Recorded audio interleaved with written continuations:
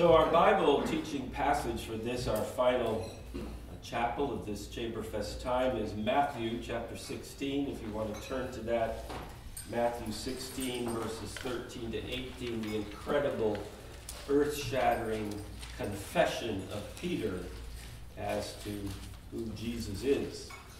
Matthew 16, verses 13 to 18. Now, when Jesus came into the region of Caesarea Philippi, he was asking his disciples, Who do people say that the Son of Man is? And they said, Some say John the Baptist, others Elijah, still others Jeremiah, or one of the prophets. And he said to them, But who do you yourselves say that I am? Simon Peter answered, You are the Christ, the Son of the living God. Jesus said to him, Blessed are you, Simon Barjona, because flesh and blood did not reveal this to you, but my Father who is in heaven. And I also say to you that you are Peter, and upon this rock I will build my church, and the gates of Hades will not overpower it. Throughout my lifetime, I have only personally known or met, met and gotten to know one other individual by the name of Wesley. There are other Wesleys, but Wesley isn't that common unless you come from a Wesleyan heritage like John Wesley or Charles Wesley, which actually I do. My parents named me after either take your pick, they say.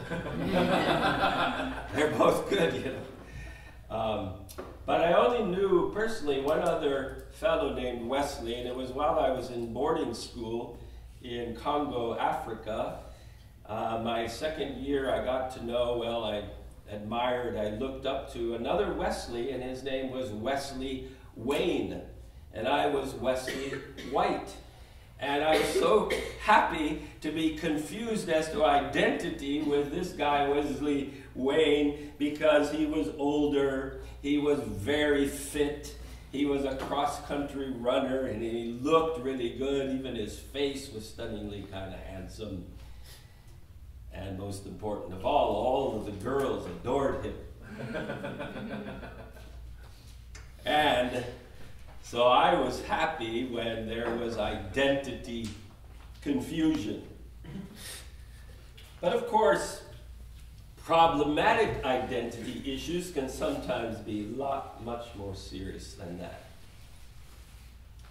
Once again, as we've been emphasizing this week, how learning in the context of Bible issues for Muslim background peoples and how it raises the specter of the most important distinctives and essential doctrines of our own Christian faith and commitments, then this is another one that certainly cries out, I would suggest to you, for our attention in what can only be described as eternity determining. And that is the Bible's insistence upon who Jesus is. What is his identity? Jesus Christ is none other than the Son of God. This has to do with the very serious identity issue raised by Jesus himself when he asks the question of his disciples Who do people say that I am? The identity of Jesus is a huge difference when we compare Christianity and Islam.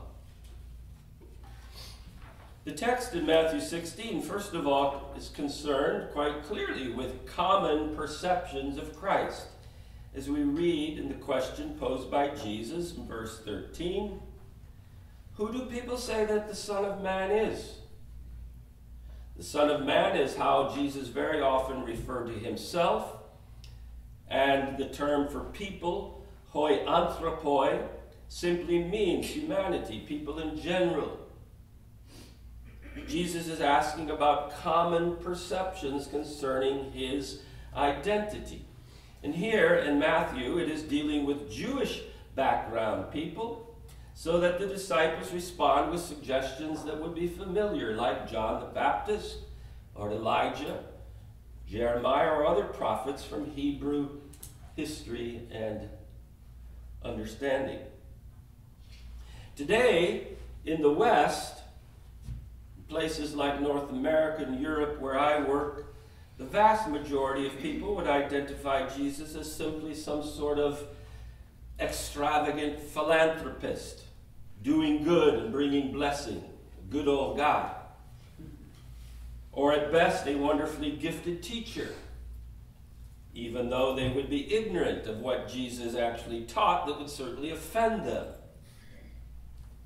like his warnings about riches and wealth, or strict morality, or the call to actually love your enemies, or the ugliness of sin, or the reality of hell. I'm always amused when people say, "Oh yeah, Jesus is a great teacher," and you say, "Do you have you read what he taught?" It would offend them, as well as bless. In Islam, Jesus is honored as a prophet, but only a prophet. The Quranic teaching, he is not even on a par with the honor bestowed upon Muhammad as the last and greatest prophet of God. That is, according to the hadiths, the commentaries of Islamic scholars writing about what the Quran says. However, isn't it interesting throughout the Gospels that in the supernatural world, even the evil forces, the very demons from hell, know and express the real truth. What some scholars interestingly refer to as the diabolical truth. So that we read, in, for example, in Mark's Gospel, chapter 3, verse 11, whenever the unclean spirits saw him, they would fall down before him and shout, you are the Son of God. The demons know who he is. Or as we read in Mark chapter 5, verses 6 and 7, the demon possessed man ran up to Jesus and bowed down before him. Shouting in a loud voice, he said, What business do you have with me, Jesus, Son of the Most High God? so that we understand in the supernatural world the real identity of Jesus Christ is perfectly clear. he is none other than what Peter ends up confessing the Son of God. However, then we come to the critical moment in this passage when Jesus poses the same question directly to the disciples themselves. And of course, it is posed to all of us as well as we read this time and time again for centuries later. Verse 15 But who do you yourselves say that I am? Literally, it reads, But you, you yourselves Who do you say that I am?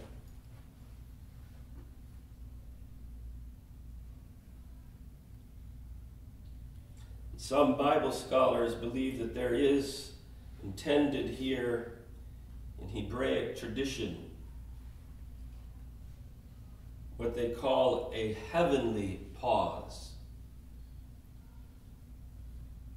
As all of heaven waits with bated breath, wondering Will anyone in all of humanity get it? The very identity of Jesus is so crucial, but will anyone confess him as he ought to be confessed?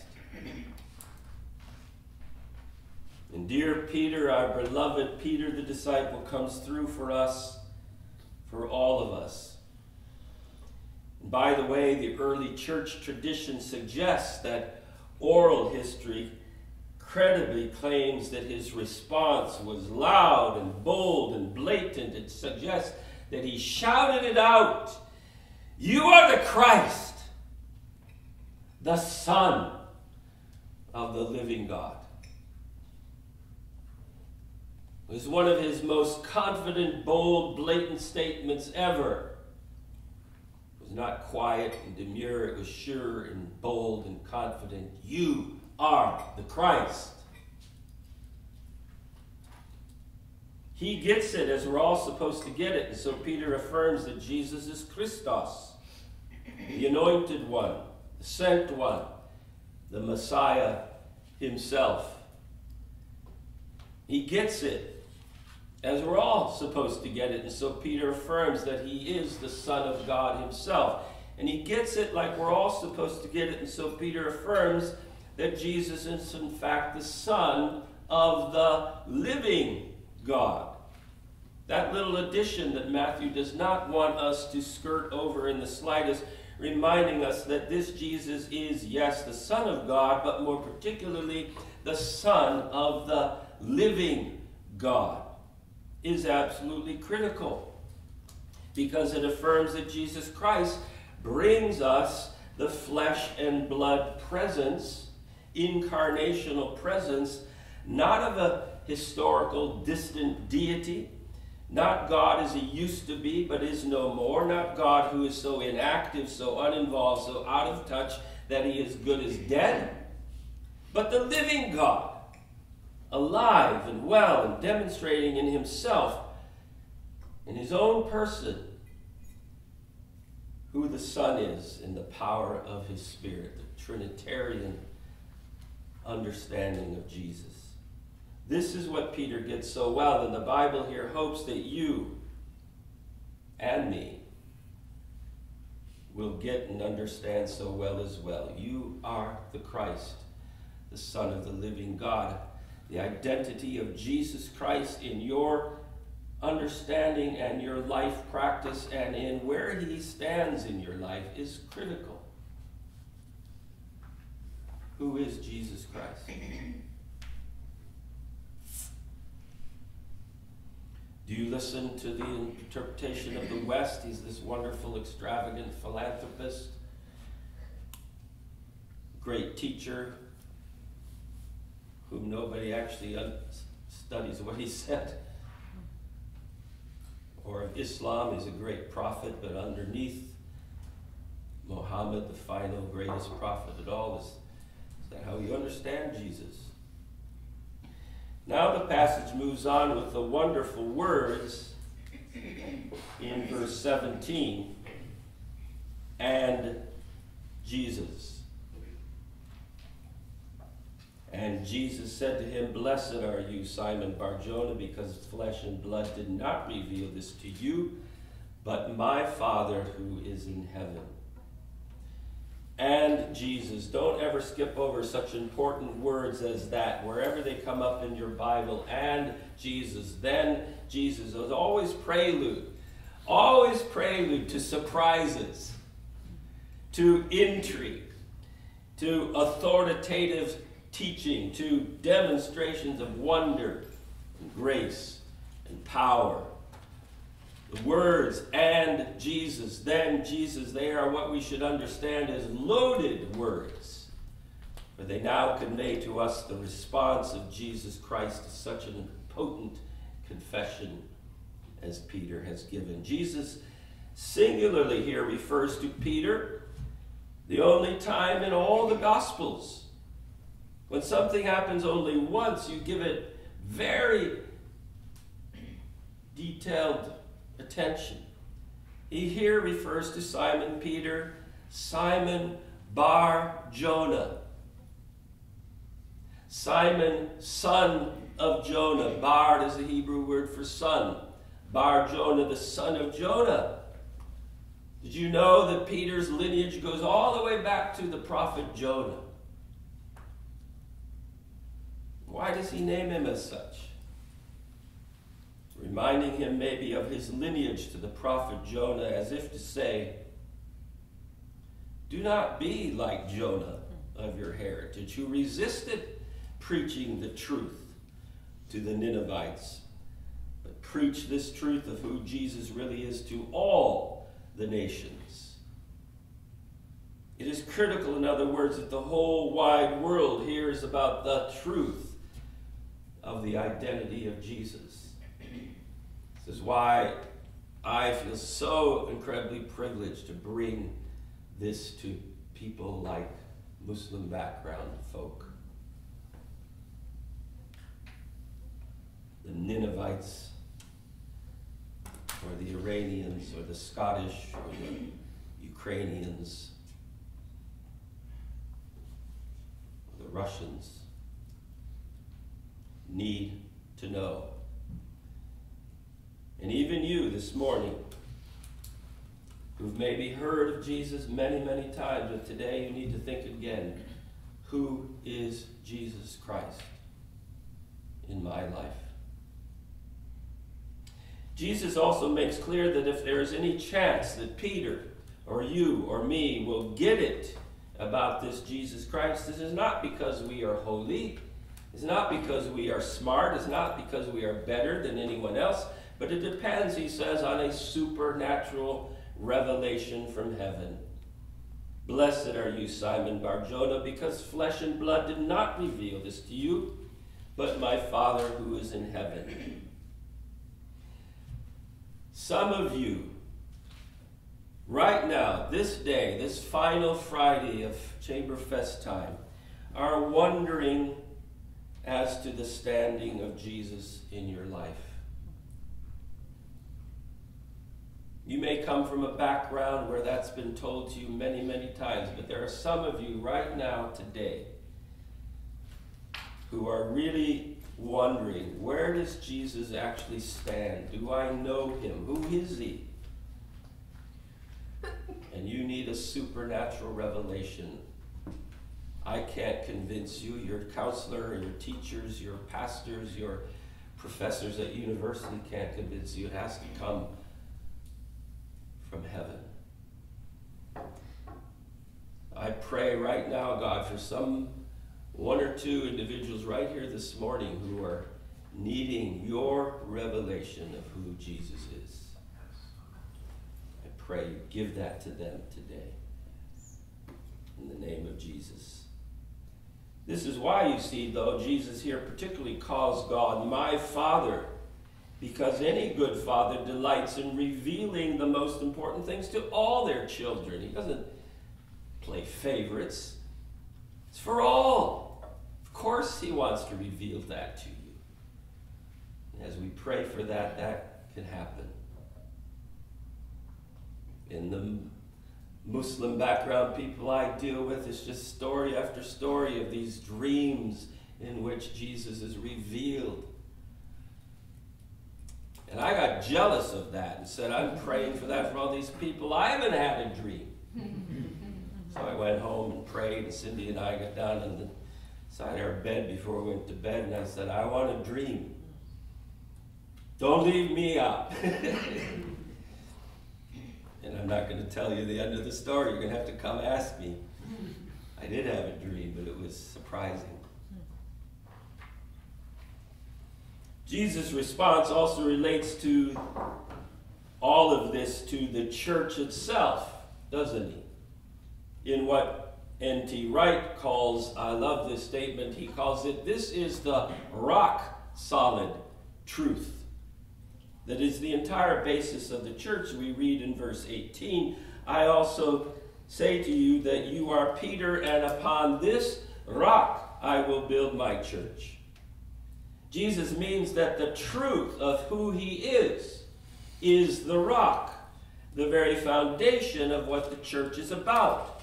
And of course, the church, meaning the global church, has many attributes. It is full of love. It demonstrates mercy. It is a family. It supports people in many ways. It cares for the voiceless and the forgotten. But let us never forget that at the foundational level, like rock solid, the church is about the truth that we confess.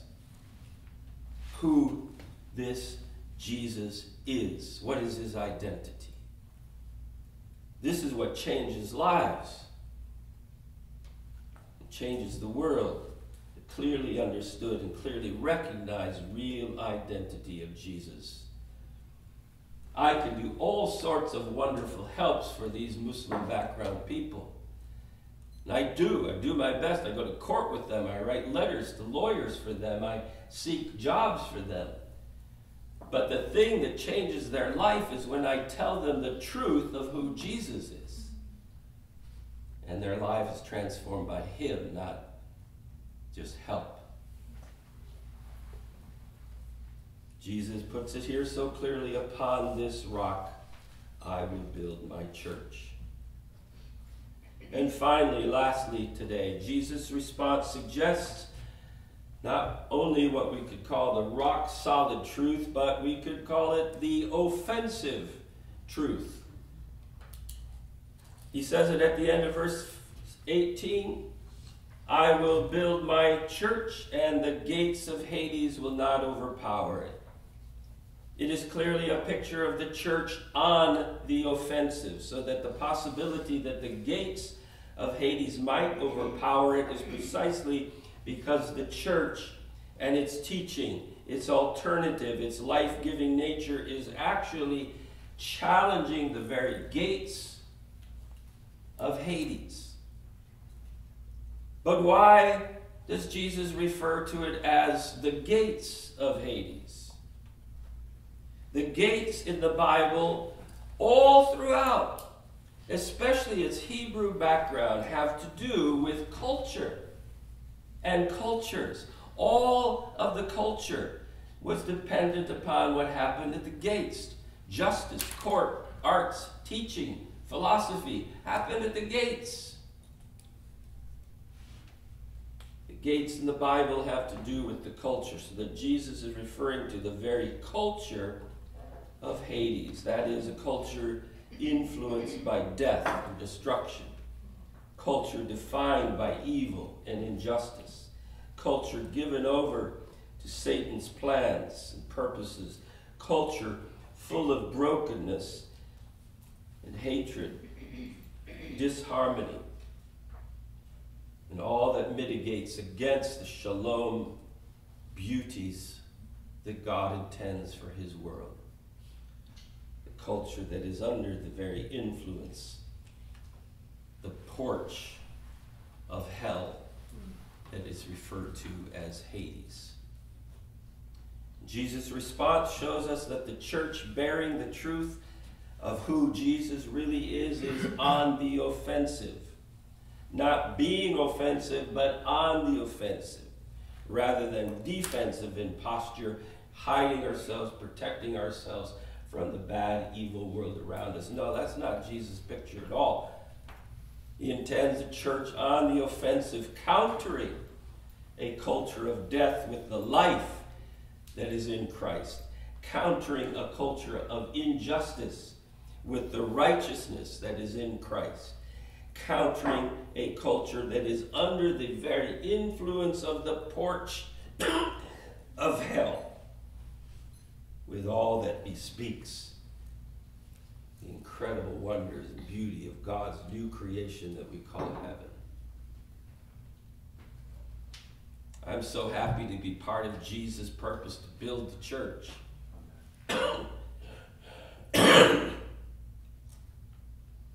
but for all of this, first of all, dear young students, where I've sat in that place, Csehy, many years before I moved on to counselor and teacher and chaplain and all sorts of jobs. It starts where you are.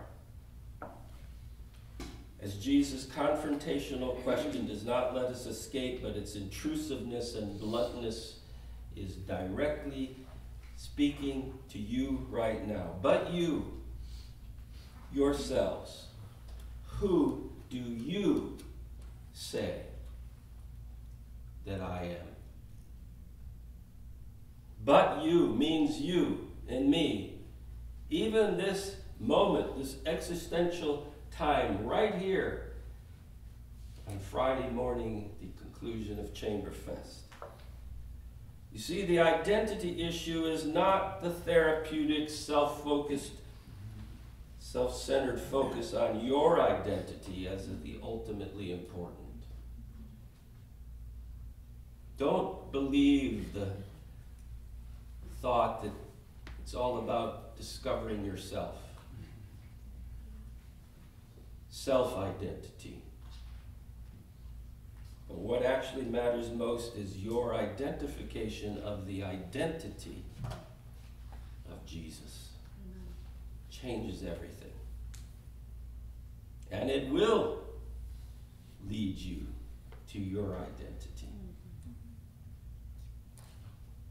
Some, some of you, this is an invitation now to explore discovering who this Jesus really is with your counselor, with a teacher, coach, with me, with Mr. Bergen, our director,